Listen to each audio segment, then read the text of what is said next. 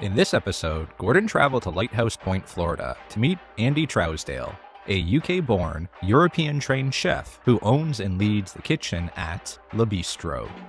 Despite the restaurant's location in a wealthy enclave, the locals do not appreciate Andy's style of cuisine, finding it stuck in the past.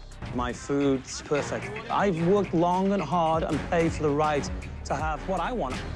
Andy refuses to accept the possibility that his cooking, despite his impressive background, may not meet expectations.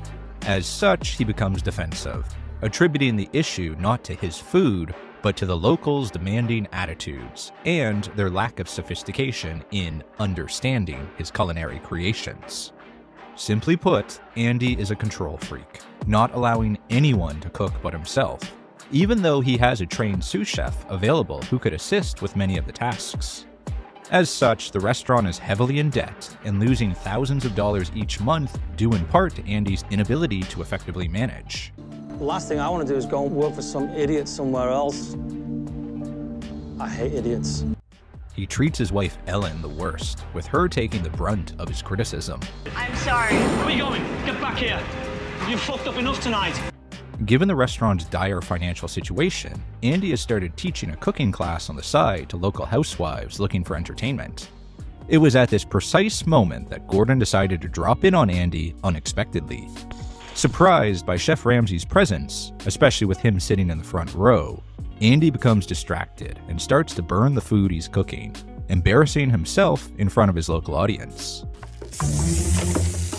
Should it be smoking? After the class, Gordon suggests they sit down together, along with Elin, to address the core reasons behind Le Bistro's failure. When asked why their business has not succeeded in the nearly 10 years since it opened, Andy becomes defensive. Faced with nothing but excuses, Ramsay decides it's time to move on to the next phase, the taste test. He tries the duck rillettes, only to find a piece of bone in his food that almost chips his tooth. The next dish is a garlic coconut lamb curry roll. After taking a bite, he discovers the texture to be rubbery. But what is more strange to Gordon is the choice of a lamb curry roll for a French restaurant located in Florida. Gordon confronts Andy face to face about his lackluster and outdated cuisine. Andy refuses to believe Gordon when he mentions almost breaking his tooth on the duck bone, and won't listen to any other criticism of his food. Having had enough of Andy's excuses and defensiveness, Gordon decides it is best instead to focus on what will be the next challenge that evening's dinner service. He learns that Andy does not allow the sous chef, Hendrik, to cook at all, However, before Gordon can get more of the details, he is cut off by Andy, interrupting the conversation. Hey, hey, hey, we don't have time for talking. I don't care if it's him or the Queen. As the service begins that evening, dishes start coming back to the kitchen as quickly as they're going out, due to quality issues. Yet Andy still refuses to take any responsibility or have any willingness to change. This frustrates Chef Ramsay as he realizes that both he and Andy have a lot in common. We're both English and we both studied in Paris, but there's one thing we don't share in common. I care about my customers. Andy, on the other hand, doesn't care what his customers think. To get through to him, Gordon has an idea. He invites the diners to fill out comment cards with their opinions on that evening's dinner service. The service receives an average rating of 4 out of 10, and the food a 3 out of 10. When asked whether they would consider returning, 78% respond with a no. Gordon tells Andy that he is blatantly ignorant of the fact that his food is stuck in the 1980s. This only serves to upset Andy even further, who brushes past Gordon walking away. Thankfully, like a proper British gentleman, he still found time to say excuse me as he walked past. Well, you're one-sided. That's all you want to fucking do, man. Excuse me? Gordon decides it is best to have a private conversation with Andy, so he takes him aside, offering him one last opportunity. Is he willing to change, yes or no? Andy responds with a nonchalant sure, indicating that Gordon can change anything he wants, no problem. Gordon clarifies that it must be him who is willing to make the changes personally with himself. Finally, Andy agrees and commits to do what is necessary to move forward. Gordon, relieved, decides to call it an evening and wishes him good night. The next day, under the typically sunny skies of Florida, Gordon takes Andy and Elin out on a boat, possibly to prevent Andy from fleeing from the issues at hand. Once they descend down to the lower level, they're greeted with another surprise a gathering of past customers ready to share their experiences. Andy and Elin appear nervous. The customers are quite direct, sharing their disappointing experiences dining at La Bistro. Unsurprisingly, Andy continues to be defensive. Honestly, deep down, are you looking for naked women dancing on the table? Ramsay and some customers remind Andy that their feedback isn't personal, just business. Back at the restaurant, Ramsay aims to tackle the next issue, utilizing the sous chef Hendrik, instead of having Andy micromanage everything in the kitchen. Ramsay's request to Andy is straightforward. Let Hendrik cook one dish that evening, the red snapper special. Hendrik, having previous experience cooking snapper, is eager to help. Andy grumbles about the decision, but reluctantly agrees to proceed. Customers quickly show interest in trying out the special snapper dish on the menu that evening. Orders start coming into the kitchen much quicker, but Andy remains the bottleneck. 30 minutes into dinner service, he is still preparing each dish individually. Worse, he doesn't allow Hendrik to begin the snapper orders because he's monopolizing the limited cooking space. An hour and 10 minutes in, not one entree has been served. Struggling to persuade Andy to change his ways, Gordon tries a different strategy. He goes to the seafood restaurant a few doors down in the same plaza to order a takeout seared tuna. Ten minutes later, he's back at La Bistro, eating his meal on their front patio, while inside, the diners still haven't received their entrees. Finally, back in the kitchen, with some convincing by Gordon, Andy allows Hendrik to start cooking. The dishes begin to leave the kitchen, and surprisingly, people really enjoy them, especially the snapper. However, dishes from Andy's original menu continue to receive negative feedback. Following the service, Ramsay has another conversation with Andy and Elin. Andy remains defensive, blaming the customers rather than his food. Gordon informs Andy that his crew will renovate the restaurant overnight. This presents Andy with an opportunity to start fresh, both in terms of the restaurant's aesthetics and his approach to cooking. Slowly, Andy seems to open up to the possibility of change, but will he? Ramsay's crew works through the night to renovate La Bistro, marking the first renovation since the establishment was purchased almost a decade prior. The next day, Andy and Elin arrive, eager to see the changes made. The first change is noticeable outside. Ramsay has updated the facade. The classic but dated exterior signage has been replaced with a modern version painted in a rich blue featuring playful Comic Sans typography for the La Bistro wordmark. Inside, they've added an eye catching leather upholstered wall that's as comfortable as it is stylish. Gordon and Andy spend the rest of the relaunch day cooking new menu items designed to appeal to local diners, including oysters, steamed mussels, and the popular snapper. To raise the stakes for the evening's dinner service, each table hosts a VIP the local police chief, the city commissioner, the top radio host, and a local food critic. Although initially irked that these VIPs hadn't visited his restaurant before, Andy is excited to cook for them that evening. The question remains will Andy manage to stay calm under pressure and delegate tasks to Hendrik?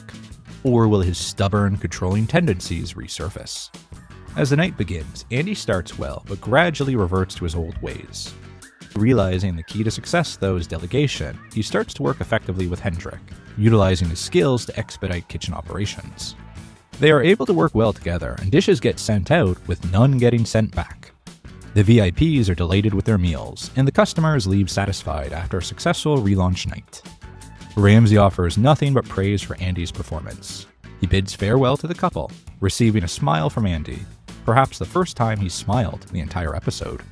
Gordon Ramsay is welcome here anytime. Indeed, Gordon made a second visit to La Bistro, returning as part of a follow up episode that aired the following year in 2011.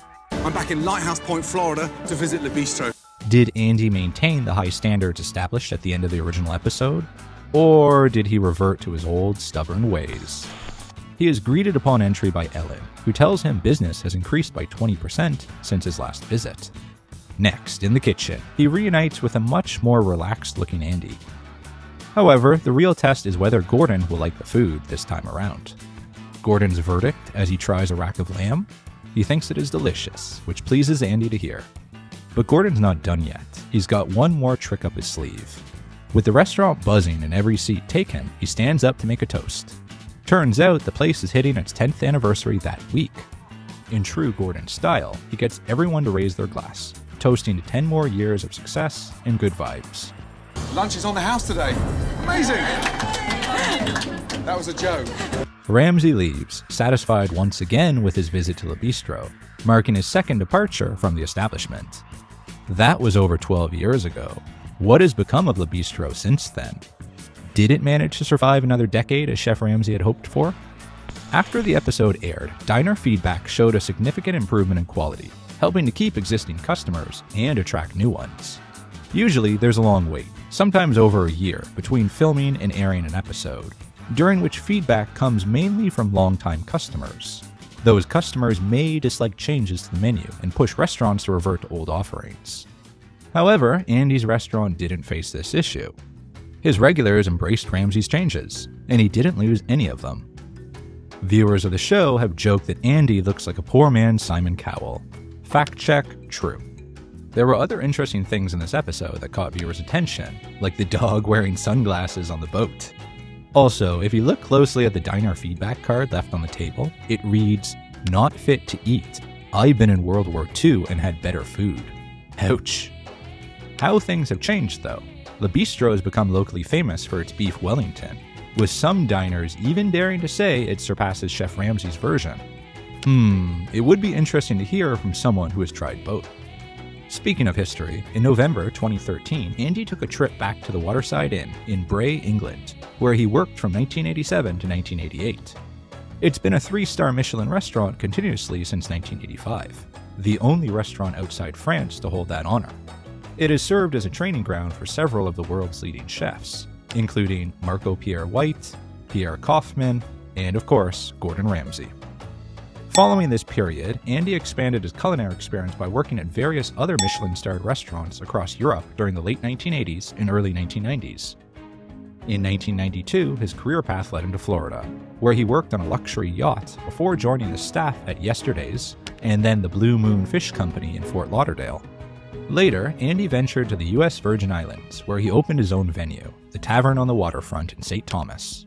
It was here where he met Elin, they would be married and have a son together.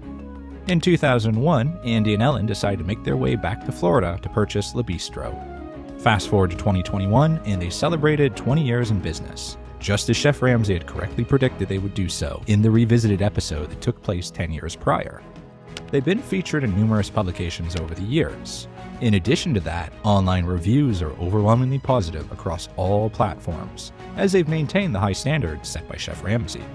Also, good news Seafood World, that was the restaurant Chef Ramsay picked up the takeaway from, is still open today as well. As for the bistro, there have been some changes, though, such as removing the top portion of the leather upholstered wall panels that Chef Ramsay installed during the makeover. Personally, I thought it looked better before, as I don't think those paintings do much, but to each their own. Regrettably, I don't have an update on what happened to sous chef Hendrik. I hope he is doing well, though. He definitely seemed like he had a lot of potential. Andy still teaches cooking classes as well as being very active on social media. Chef Ramsay says it is only a matter of time before Andy gets a Michelin star. 15 years following its feature on Kitchen Nightmares, Le Bistro continues to operate successfully. Clearly, embracing Chef Ramsay's advice proves to be a recipe for success, showcasing how a restaurant can truly excel.